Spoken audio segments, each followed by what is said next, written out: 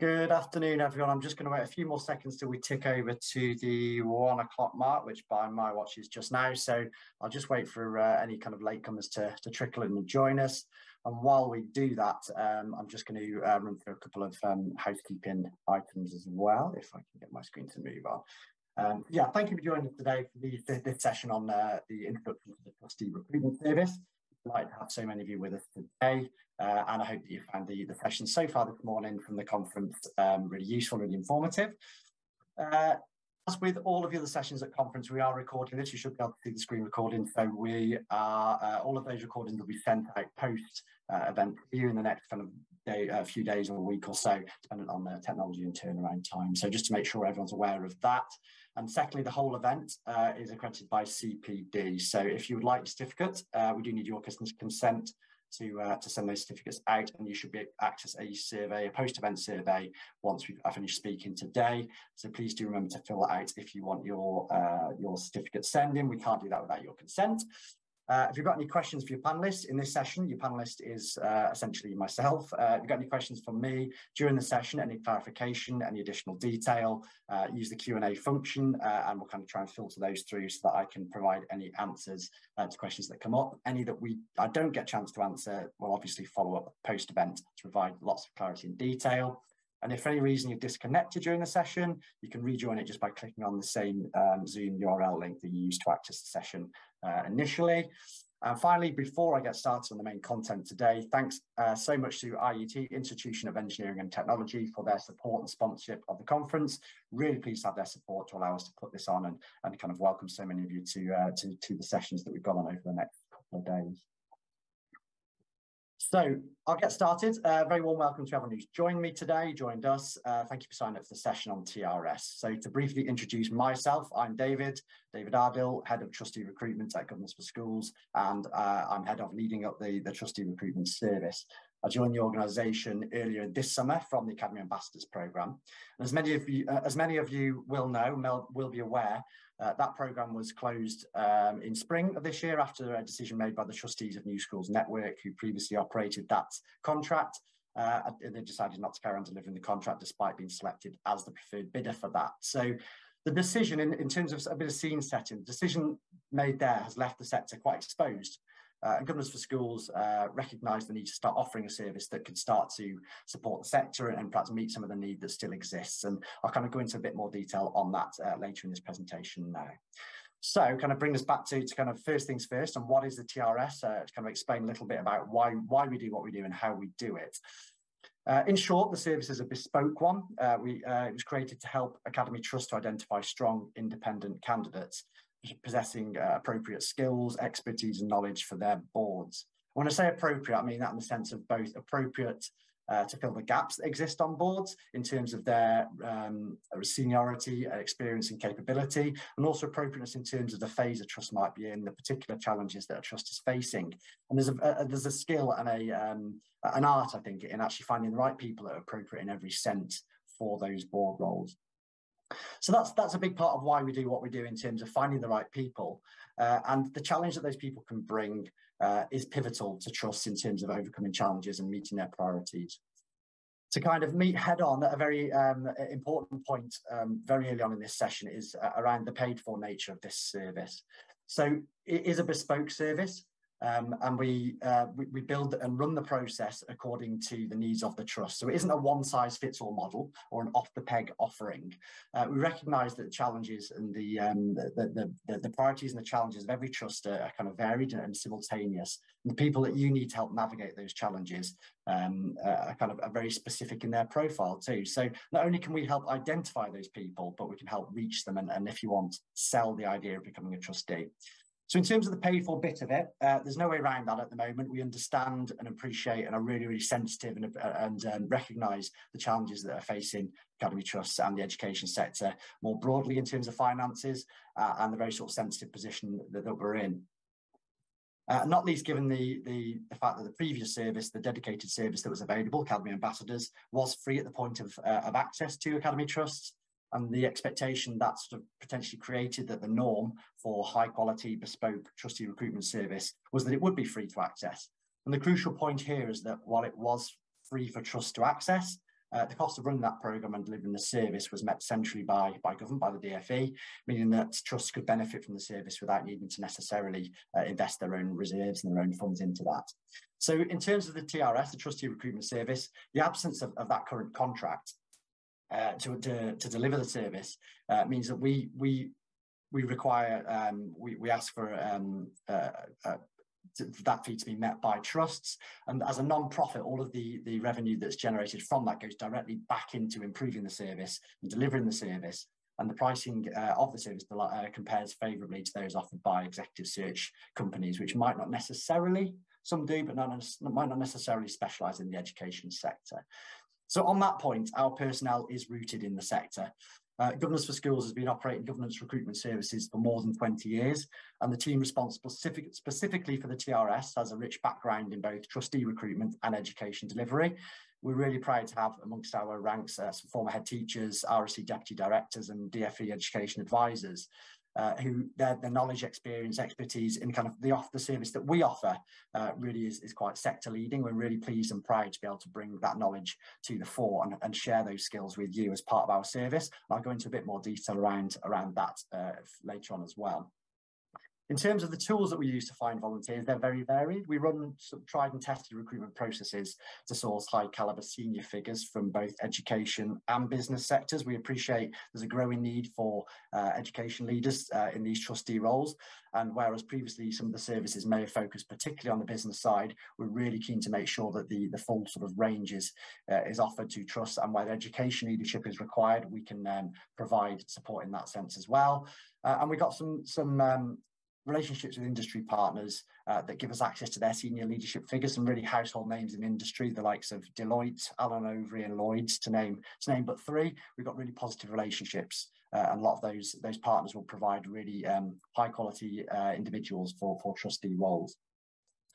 Uh, in addition to this, every person who's appointed through uh, the trustee recruitment service gains access uh, to the key.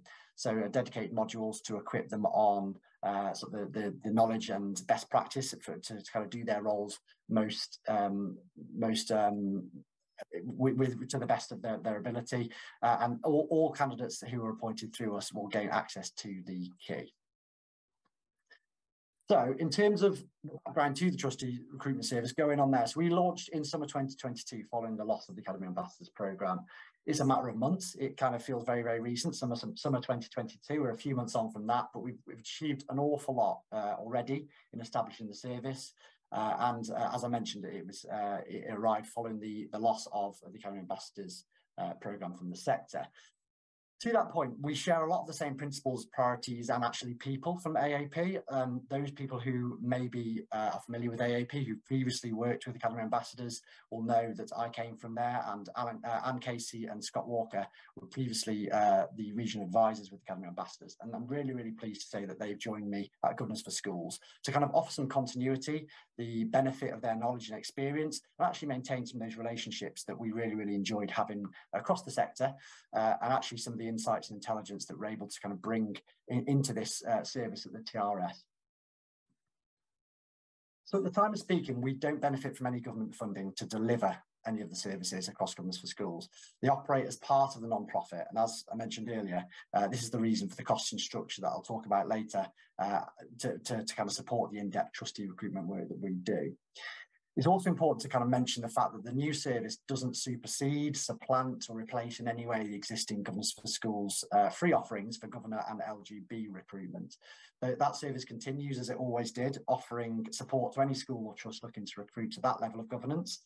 And as time goes on, there'll inevitably be some degree of synergy and complementation between those two services as we offer a kind of joined up pathway for volunteer development and new opportunities for candidates.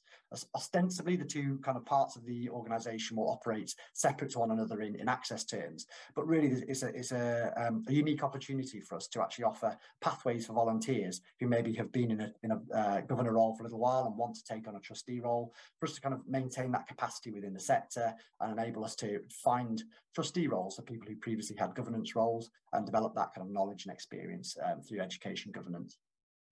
A final kind of brief um, point on this slide just to mention is that every role to which we recruit through the service is pro bono and voluntary in nature. So these, these aren't paid for roles. Uh, the, the, the, candidates who take the roles are, fully aware and expect uh, to, to, to, um, to kind of perform the role in a voluntary uh, capacity.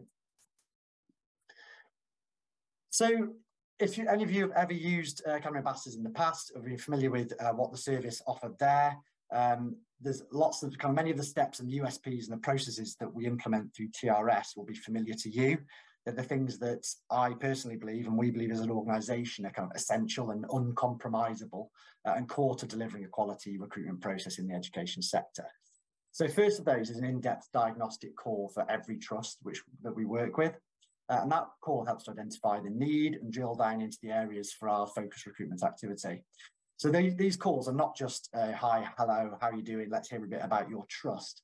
They're really proven to kind of inform the process and the search activity and also help focus the minds of the chairs and the members as to the, the what, why, when, where, how of, of their recruitment activity. So it kind of it builds that self ownership and um, and familiarity with with the why of, of, each question that we're asking through the, the recruitment process, and make sure that the trust or the, the trust chair or the members who are, who are leading it kind of feel really involved in that process. As much as it's a managed process from us, we we have to have that kind of ownership from the trust side. It's more than just a chat; it can be a, a practical exercise in kind of honing and sharpening that piece of activity. So throughout the process, we maintain an impartiality, but bring to the conversation our insight and informed perspective. I mentioned Anne and Scott have been in the sector for many, many years. I've been involved in um, trustee recruitment for uh, six years or so as well myself. So in terms of our knowledge and expertise, we understand the sector trends and the pressures and the overall landscape knowledge. I mentioned as well around financial challenges at the moment facing trusts. So we've got that realistic, empathetic and, and honesty in the conversations. We're able to kind of um, empathise uh, and really understand the challenges that trusts are facing to help sort of make use help make best use of the time we have with you, but make best use of the opportunity to kind of run the activity, the recruitment activity too. So off the back of those initial conversations, uh, we produce some external adverts and marketing materials where they're necessary to enable us to kind of run the adverts, uh, promote opportunities using a variety of external networks and promotional um, platforms. Uh, and those those might not always necessarily be necessary, necessarily be necessary, um, because we do use a lot of headhunt activity and really sharp tools to uh, identify people who are going to be appropriate and suitable for the roles. So we once we've found those people off the back of adverts or our network engagement with our partners, as mentioned earlier, or headhunting tools to identify suitable people and suitable opportunities, we conduct, conduct an assessment call with every would-be candidate to check their, their suitability, their capability, really, really importantly, their motivation for taking a role. It's really important to us to find kind of sticky appointments so that uh, the person that goes into the trust is doing it for the right reasons. And actually, what they want to get from a role is what the trust needs as well. So there's a kind of a, there's a synergy in it and a bit of give and take in there in terms of finding the right role for the right person and not shoehorning the right, uh, the wrong person into a role just to kind of uh, get a bum on a seat, as it were we do a, a, little bit of light touch background checking to ensure that the individuals are suitable for that role, uh, taking into account all of the the, um, the diagnostic process that we did at the very beginning of, the, uh, of our steps. So we have at our disposal a suite of what I like to call sharp tools so each capable of kind of cut, kind of labour analogy, cutting to the uh, heart of an issue, identifying the right people or persons, depending on your requirements for roles. They're really targeted and effective and proven to find good people with the right profile, skills and knowledge. We use a platform called LinkedIn Recruiter, which um, really enables us to harness one a, a massively powerful um, database of individuals across all of England uh, to, to, identify people with the right motivation, skills and knowledge and experience. And that's proven really, really helpful for us to, um, to kind of really help trusts across the board. Uh, as I mentioned earlier, so the trust uh, the service complements the existing governor pathway, and where individuals are seeking trustee roles or they're looking to progress or take on additional voluntary roles, we can help keep them in the sector and can continue to, to continue, uh, continue to contribute um, building system capacity ultimately. Likewise, any applicants who come into us seeking a trustee role, who maybe for whatever reason might not be quite suitable for a trustee role, we're able to kind of keep them within the Governors for Schools organisation. We can refer them on to governor opportunities, and that offers that joined up proactive suite of opportunities and options that maintains interest in the sector, builds, builds knowledge and capacity as well. So we really see this service as being as much as it's complementary to the governor role, it sort of really helps to sort of generate more capacity across the whole system. Broadly speaking, who, who can we support? Broadly speaking, um, we can support any Academy Trust regardless of size or location or phase. We don't have any uh, limitations as Academy Ambassadors previously did on supporting trusts above a certain size. So we can support any trust of any size uh, depending on your kind of requirements and what you're looking for. We are focused, however, on those trustee and member positions. And that kind of goes to that earlier point I made around LGB and LA maintained governor roles can continue to access the governor recruitment service that's free at the point of delivery. And that's provided by my excellent colleagues across Governors for Schools. So that kind of part of what we do is still in place and will continue to be in place. Just a final point there as well, we don't currently recruit to uh, independent schools or universities. So just an important point to, to kind of um, highlight there. So I've talked a lot about finding the right people with the right profile, the right skills, knowledge and experience, but what that mean actually in terms of the sorts of people you can expect to uh, welcome to your boardroom or interview for roles that have come through our trustee recruitment service?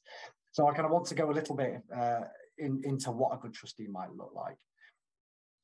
So this list is indicative rather than exhaustive, and I wouldn't necessarily expect every individual we we source to have all of these characteristics or traits, but it gives an idea of, of what somebody might look like uh, that comes across our desk and that we would assess to be potentially a good trustee. So we look for seniority, those people who've held a role for uh, at least 10 years, usually at a high level within a company, or of at least, a company of at least the same size and revenue and scale uh, to the trust to which we're, we're helping recruit. They'll be comfortable and familiar with the level of challenge necessary and at ease at a, in a senior leadership role. Ideally, we love to see evidence of individuals operating at board level or an equivalent position of strate senior strategic, strategic, strategic decision making, depending on the size and scale of their organization.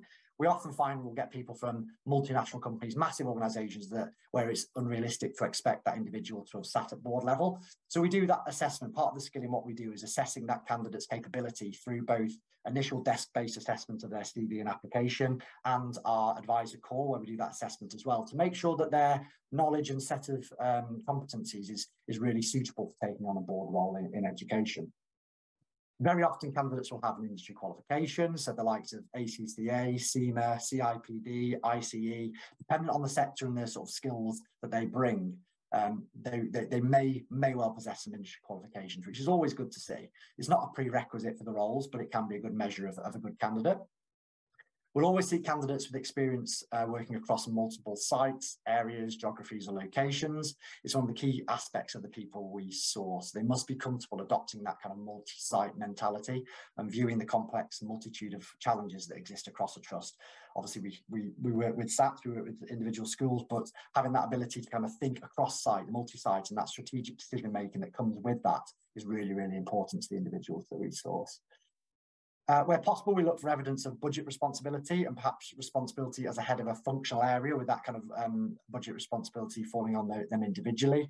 Um, we hugely value previous experience in the education, the educational charity sector, either as a governor at a school or, or uh, on an AG, uh, LGB in a charity or in another trust. So this can often demonstrate understanding of the challenges and governance structures that exist within education specifically, but also those challenges facing charities and that uh, that sort of experience we kind of hear from trust can be really impactful when people join a trust board. Often what will happen is that we'll find a candidate who's got good experience in other areas as listed here. And once we kind of add on that previous experience in, in a previous governor role or charity governance experience, it really elevates that person's understanding and knowledge and expertise and, and kind of make for a really, really confident, competent candidate. Uh, so where we have consultants who come across our desk, the, the, the, applications from consultants or those who work on a consultancy basis, we really look for evidence of sort of the scale of their experience, really exposure to big value projects, high level reporting and ability to kind of understand the whole organisation perspective rather than just the part of a project that they might, they might be responsible for. In terms of diversity, we at, at Governors for Schools, we're enormously proud of the work we do to help trusts and schools improve the makeup of their boards and encourage diversity in, in all its forms in every way. And Governors for Schools, is, even kind of predating the trustee recruitment service, Tr Governors for Schools has got a great track record in this area. Uh, but we do obviously recognise that much more needs to be done. There's a lot of work to improve the sector in terms of representation and diversity. And we're really proud of kind of some of the numbers on screen there that kind of demonstrate uh, from the last reporting year, so 2021 to 2022, uh, just over a third of all the candidates appointed to roles uh, were from a non-white British background. Um, and 29% uh, of the trustees, so all appointed volunteers as trustees, just under a third there were from non-white British backgrounds too. As we build the trustee pool, so the, the pool of people uh, potentially suitable for roles going forward, um, we the, our uh, data shows us that 45% of the trustee volunteers currently that we have in our pool waiting for roles, kind of looking for suitable roles, are under the age of 45, and just over 50% there are female, and 22% are from a non-white British background. So the kind of the, the routes that we um, undertake to find uh, a diverse pool of candidates. Uh, we work with uh, partners who have really kind of well-rooted and established um, diversity programs within their organisations already and look to partner where with organisations that have that best practice embedded in what they do.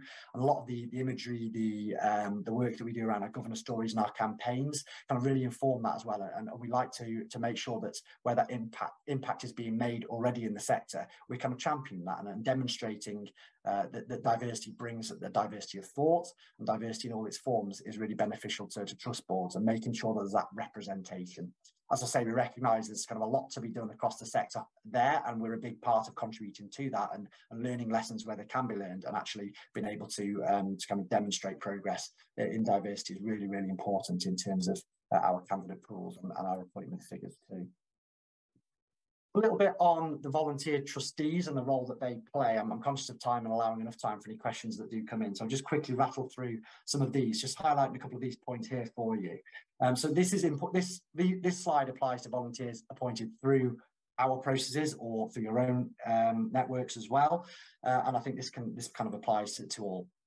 So all trustee appointments made through the TRS, through Governors for Schools, are made solely by the trust through the mechanisms and the decision-making processes and protocols that you have in place. So that kind of appointment, excuse me, that appointment process is very much owned by yourselves, not by Governors for Schools, not the DFE, not anyone else. These candidates will be independent and experts in their field, uh, and it's really important that you go through your kind of due processes when you appoint these individuals to make sure that they're the right fit for your trust, but also that they bring the right things that a, an independent trustee should do, sort of challenge and accountability and scrutiny for, to the executive, and really sort of some challenge around decision making on the board too. So uh, a common misconception uh, may well be, I mean, I, kind of please do kind of shout them in the in the chat too, whether these people um, might be viewed as some sort of governance police, uh, um, dropped in to spy and snoop. I, this is categorically not the case. Um, all new trustees that are integrated to boards and committed to the ethos and success of the trust that they join. And we do a lot of work with the prospective candidates to ensure that their ethos and motivations are the right ones. I talked about sticky appointments and also match to those trusts that they join. The sticky appointments are the best kind. We believe that in a huge majority of cases, thanks to a lot of the process, the steps that we do to find the right people for the right roles will result in appointments that last and the right changes made and the kind of the, the caliber and the robustness of the challenge that's brought by those individuals can really help to make sure that that's a sort of a good match. Usually the people that are appointed won't be experts in school governance. They can be. Um, we, we are able to kind of source people who do have that background in the education sector and familiarity with school governance. And as I've talked about, people who've had previous roles in, uh, in governor roles, uh, that can be really beneficial. But a lot of the ex uh, expertise we'll find come from the corporate sector and charity governance, um, and that's more of a standard. Um, and if you're faced with a situation whereby uh, a trust requires intervention, this approach alone possibly isn't going to solve the problems that are being faced by a trust, but certainly they can help to kind of uh, address need. Moving on to the skills and expertise, again, conscious of time, and I'm apol apologies for the kind of the smallness of the fonts of this as I try to cram on so much content onto one slide. I won't th run through all of those, all of those boxes there, but suffice to say that the skills and experience required can be sort of vastly varied. Um, and I think we've seen just about everything across the years I've been working in this sector and working on trustee and governance recruitment. Key point to mention is that one in, in bigger fonts at the top there, that all of the trustees should be required to take responsibility for all areas of a trust, not just the kind of the area, the skills area, the sector, the, the priority focus of their part of, of their knowledge and experience, there should be kind of a, a requirement to, to own all parts of, of good governance across all areas um, of, of the boardroom. Nuts and bolts of the process. Uh, it's a it's a, um, a, relatively simple process. You can start off by registering your requirements on our website, trusteerecruitmentservice.org.uk. Uh, and from that point on, on, I'll kind of not go line by line through this. You can you can kind of read the steps uh, for your information, but we will follow up uh, to coordinate that, that initial call um, for the chair or a designated member. It's really important that we work with a chair or a member as part of this. We recognise and appreciate that often there'll be a governance professional, a clerk, somebody else involved in perhaps help setting up the initial parts of this process, but we really require that chair or member involvement in order to kind of own the process and uh, and to, to, to have that ultimate accountability for appointment making process. Once we have everything finalised through that process, we kind of start the engines and launch that recruitment. We assess every candidate and conduct the screening calls before sharing expressions of interest in those individuals with the chair or the member leading the activity. And from that point on, should you um, decide that you want to speak to an individual, you can let us know and we can put that individual in contact with you to kind of commence the, um, the recruitment protocols and processes that you have in place in relation to interviewing, DBS and the next steps for, for recruitment and, um, and appointment. I mean, uh, typically the timescale, sometimes how long is a piece of string, but typically we'd expect a process from initial kickoff to interview introduction stage to be eight to 12 weeks, dependent on the complexity of any one case, as it were, really. Uh, pricing. So as I mentioned, we're really sensitive to the fact that this is a challenge across the sector at the moment and appreciate that um, that, that, that finances are stretched. The just to kind of give a, give a, a, moment or two to the pricing structure. So uh, for one appointment, two and a half thousand pounds, two appointments on a sliding scale, two appointments, the second appointment two thousand pounds. So two, and a, two and a half thousand in total, three appointments, six thousand pounds. So the critical point to mention here is the fact that uh, there's no payment required until after the introduction of a candidate. So you're not liable to pay anything until uh, you get a candidate you're happy to take forward to interview and progress from there. And the second um, payment comes after the intent to appoint, appoint it. We're notified of that intent to appoint. So it kind of staggers a little bit of that really so that you can um, you can um, sort of plan out the, the process as it were really. And just to reiterate the point that as a non-profit, all of that fee directly goes to covering our costs in delivering the service. And that's very much in line with the service delivery costs uh, across the sector. Uh, and there's, there's no kind of profit made from that. And any surplus that goes from it is reinvested into the service delivery and improvement. So a couple of things to consider. I know uh, there's going to be in the chat, there's a, there's a document that hopefully will complement this too in terms of a, a one pager on the service and some of the things that you to, for you to consider and think about when you're considering your trustee recruitment. Sometimes appointing two people can be easier than one. Uh, sometimes bringing two people onto your board can be helpful for that for those individuals, but also for you in terms of induction and processes complex cases. We sometimes do deal with complex cases where there's a lot of things going on, perhaps some governance failures. Where that's the case, when you come to us, please do let us know at the outset, not for any other reason other than it helps us to build that process from the very beginning and actually build that into what we're doing in our search activity. Because some of those volunteers do like a challenge. They're, they're coming into this, they're offering their time, they, they want to volunteer because they want to make a difference. And sometimes actually having all of that information at the outset will be what makes the difference to, to kind of uh, convince an individual to, to volunteer for your trust. And just to reiterate the thing around induction references and DBS are always handled by trusts. They, we'll do some light touch vetting, but usually they'll be handled by trusts. Uh, brief slide there, uh, just on the people involved in this. Uh, you recognise myself and Scott and Anne on the right hand side of that slide as well. So Scott and Anne were regional advisors from the Academy Ambassadors Programme, really well known in the sector. You may be familiar with their faces. You may not be, if you may have worked with them in the past, but dealt with them via phone calls. Uh, and Jill uh, also works with us on the team as well. So we're a small but perfectly formed team dedicated to trustee recruitment. And that is all of the kind of content here. I'll run, I realize I've run up very close to the, um, end of the time here. So let me just stop sharing very quickly so I can uh, have a look at the questions and see if there's any that, uh, that I can answer very briefly. Um, so, okay. So do you see a role for remote trusteeship? And if so, how do you recommend dealing with the pitfalls? Very much so, yeah. This is something that as expected, uh, came to the fore during the COVID pandemic. Uh, it's something that a lot of trusts actually found were beneficial uh, in the sense of getting more people around the trust table on a regular basis, and also it enabled us to do recruitment uh, that meant, meant we could broaden the broaden the, the net, as it were, and find people who maybe weren't within an hour's travelling distance, but could bring skills, knowledge, and experience and expertise to support trust in the right way rather than just being close by as things move into a kind of hybrid way of working, we're finding that more trusts are going back to face to face, as we is, is right and is as we'd expect. Uh, but we're finding there's, there's a there's a um, there's an increasing number of trusts who are willing to kind of maintain that uh, aspect of, of, their, their delivery. Pitfalls, of course, there's that um, the less familiarity with the local area and the geographies that are facing trusts, but certainly there's ways and means I think that trusts are finding to to overcome that and, and improve familiarity with the uh, with the trust locations. I know we've got a few more questions in the chat there. What we'll, I'll do is aim to take all of those questions. I'll respond to all of those separately uh, in a document after the after the session. Uh, this has been recorded, as I say, and it'll be sent around in the next few days uh, to kind of your access to, to kind of revisit and rewatch if you want to or share.